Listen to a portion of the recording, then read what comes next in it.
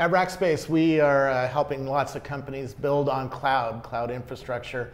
Your companies are probably sitting on the cloud, at least in part. And these clouds are getting more and more complex. You're getting more and more servers, more and more APIs, more and more data flows, more and more people working on these clouds, and you're losing control. Where, well, Lyatiss, a company I'm seeing next, lets you do application-based networking. It's really interesting how they're helping companies take control of their cloud infrastructure.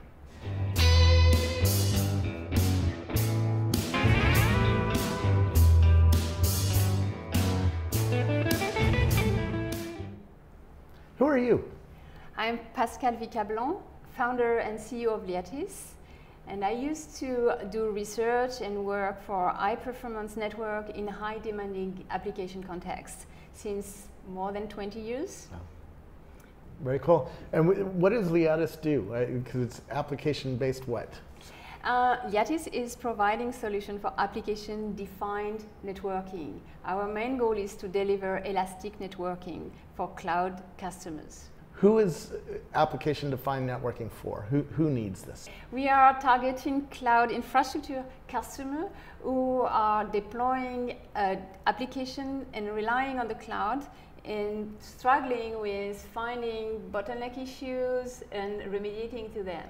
It probably is for a developer or IT person who has hundreds of servers or at least dozens of servers. It, yes. If you only have one server, it's probably not needed. You, you probably are feeling more and more pain as you your systems get more and more complex, right? Yeah, exactly. Uh, running an application in a cloud environment is can be very tricky when you have more than 10 uh, instances uh, and you need to uh, discover, uh, troubleshoot, test the different performance of the elements which are aggregating in this cloud environment.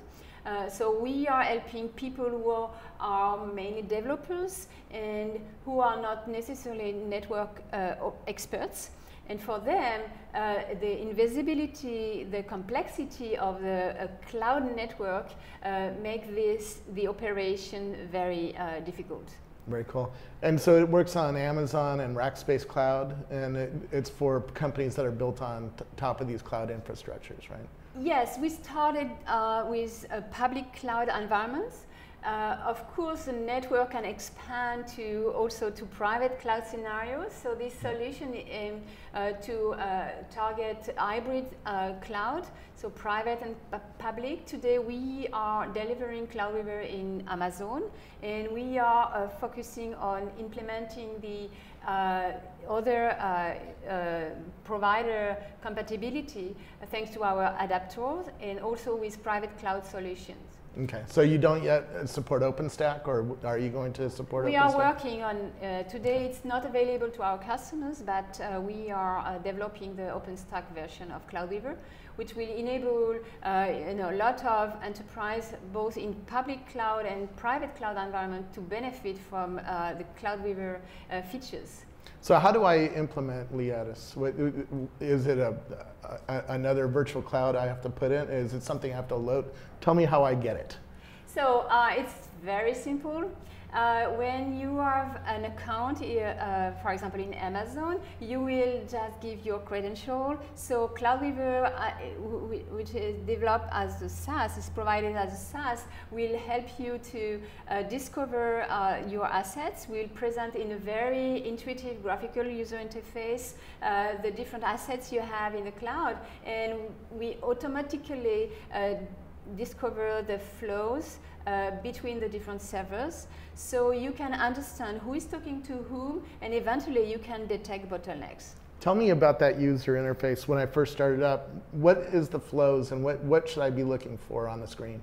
Okay, so first you can uh, look at the uh, topology map. So the topology map is giving you uh, the, the view of the different instances and the network uh, underlying network where they are connecting to, and you uh, uh, so you you see you know virtual machines uh, which becomes immediately uh, tangible. Uh, so you can manipulate with your mouse and you can move, for example, a, a virtual instance to another uh, availability zone in a click. You can also uh, uh click on it and SSH or going, go directly to this machine and type your, uh, you know, your favorite commands. And, and you can also set up or add a new resource from this um, dashboard.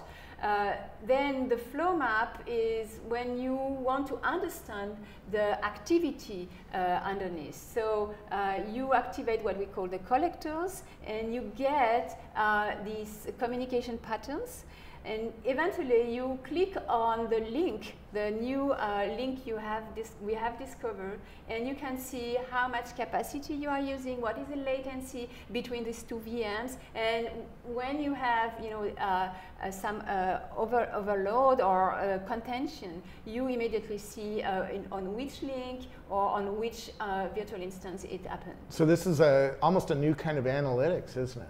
Yeah, so uh, CloudWeaver is combining uh, what we call the flow analytics with uh, adaptive orchestration. And we, we are providing this feedback loop which enable to not only understand what's happening, but immediately remediate to the problem. Yeah, so you can see all sorts of things like servers filling up, server traffic is going way crazy, or latency, there's a latency issue. Yes particularly if you have different availability zones or different zones, like you have a data, if, when you get to Rackspace, we have data centers in Hong Kong and London. Yeah. You probably can see, oh, there's yeah. a latency problem here, so you need to fix that so the code's closer together. Yes, exactly. And yeah. this is, you know, latency is uh, one of the major issue uh, for uh, distributed application developers, and that's where you uh, can lose a lot of performance and it's not so uh, obvious to detect it. So CloudWeaver is monitoring in real time, uh, not just you know the laten latency between uh, instances, but what the flows really experience during the you know, data movement. Yeah. So that's very important because that's where you understand exactly what happened. So um, the latency is one, the uh, uh, uh, availability is, is also another one, and bandwidth, the capacity you can you can use is, is really important. Mainly when you are you know moving data from one data center to another one. Yeah, no, that's absolutely interesting. Um, uh, how much does this cost to implement for a, a you know a medium-sized company with a, maybe a 50 servers, know, what, uh, so or how do you charge for it? Uh, well, tell me, no, tell me we, how we, I we launched, we launched the, uh, you know, the public beta uh, recently.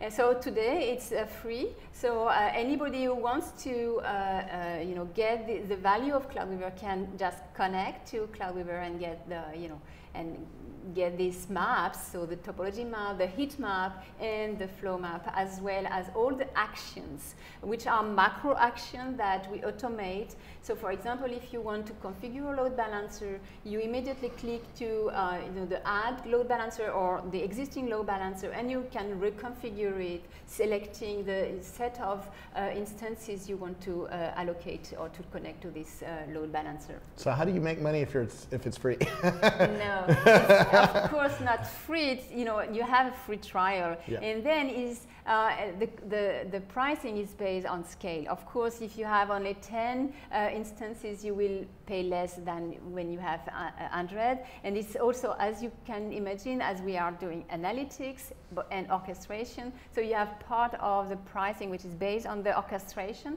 and it depends on, the, for example, on the number of clouds uh, we orchestrate, and the other part is based on the analytics. So it's a combination of these uh, pricing models. So if I try it for free, can I figure out the pricing for my company? Because every company is going to yes, be different. Yeah, you, yes, you will. Okay. You will. So I'll know what what yes. the bill will be if I keep going. Exactly. Okay. Yeah, and it's you know the the it, it, it doesn't depend linearly with a number of VMs because uh, most of the time what we do, we help people to scale in and scale out the, and, and down their infrastructure. Yeah. So, you know, we encourage people to get more visibility and control so we are not encouraging them to consume more resource. Yeah, and that, that gets into this So it sounds like you're taking on a little bit like uh, Chef or uh, um, some of these automation tools to do things very, very quickly. Is that true? Yes, we, we automate, uh, first we automate the decision, which is uh, very unique.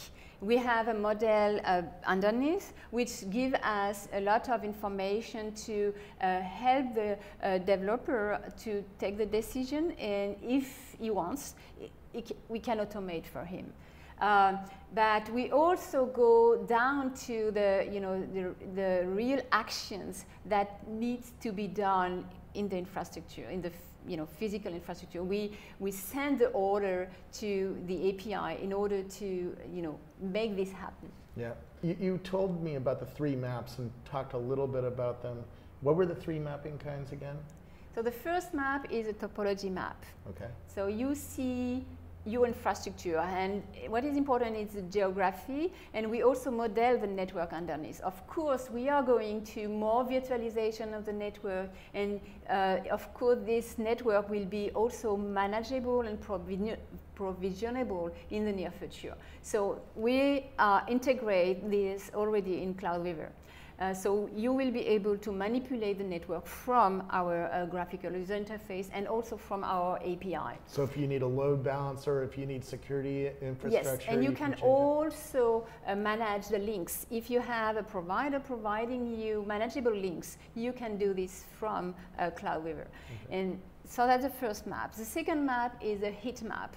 So the heat map helps you to understand what is the latency between all the different entities you have. So that's a full mesh. And it's, it's done, you know, passively, so you, you, you, you don't have, uh, you know, too much traffic underneath to, to do this. And you don't have to test yourself. If, if I have some infrastructure on Amazon, and, and assuming your, your Rackspace connector comes out, and I have some on Rackspace, and then I have some in my own data center using OpenStack, um, can it see all of those pieces eventually? Yes, yes, that, that's oh, the target, cool. yes. And I can manage back and forth and I can see, oh, these servers on Amazon are slow, so move them over to Rackspace exactly. Cloud or vice versa. Exactly, exactly. Because what is important for uh, the uh, you know, cloud customer, cloud infrastructure customers is to uh, be able to uh, adapt their environment to the needs and, and you know, differentiate. What they look for is competitive differentiation. And so we uh, abstract the infrastructure in a way that only the metrics which matter to them or to this you know, differentiation uh, are uh, highlighted. So CloudWeaver is taking a lot of the complexity, you can imagine. Yeah. It's not so trivial to you know, to manage and orchestrate all these different technologies. But at the end of the day, we really want the user to, you know, to be relieved of all this burden. Yeah. How are you funded? Tell me a little bit about the company you're building. So we started the company uh, uh, from INRIA. INRIA is a National Institute for Computer Science in France, where I used to lead a lot of international initiatives. And uh, so they start funding us. And then we also uh, uh, have uh, some investor from France for Series A, and we are looking for a Series B in the, you know, in the future months. Very cool. And you just uh, shipped the beta in January of yes. two, 2013? Yes. yes. And yes. so, how has that been going? What have you learned? What, what shocking thing have you learned from shipping a product like this? Because this um, is pretty unique new uh, infrastructure manager, right? Yes, uh, so we have, uh, I would say, fans. Even you know people who are traditionally very uh, script uh, oriented. They say, "Wow, it's because the, um, the, the UI we are providing is um, very new. You know, completely unusual for some, you know, IT ops or net ops. And, and for us, it was very important. Today, people have iPhone, iPad, uh, and when they see the, the UI, they say, wow, it's for us. yeah. so we can have, we can access to the charts, we can manipulate. So we have made the thing so intuitive that anybody can access to this. But even, you know, the real, you know, uh, uh, traditional script-oriented people say, oh yeah, I can do a lot, I can see, and also I can show to my boss what happened. So now everybody has access to the, to the, to the cloud and it's not uh, foggy. Yep. It's real. Well, I'm looking forward to it, and we, we want it on the Rackspace Cloud. Sure. Do you have any idea of when the Rackspace Cloud is going to be ready to use? Um, in, in, you know, it depends on uh, the, the, acceleration we can get with our funding, but in, in you know, few months, we have developed uh, you know, the adapter, what we call the cloud adapter in a way so we can immediately uh, adapt to different clouds. So maybe we will not have all the features for Rackspace immediately, but we can do the adaptation very quickly. Very cool. And so we uh, find more information at lyatiss.com, L-Y-A-T-I-S-S.com?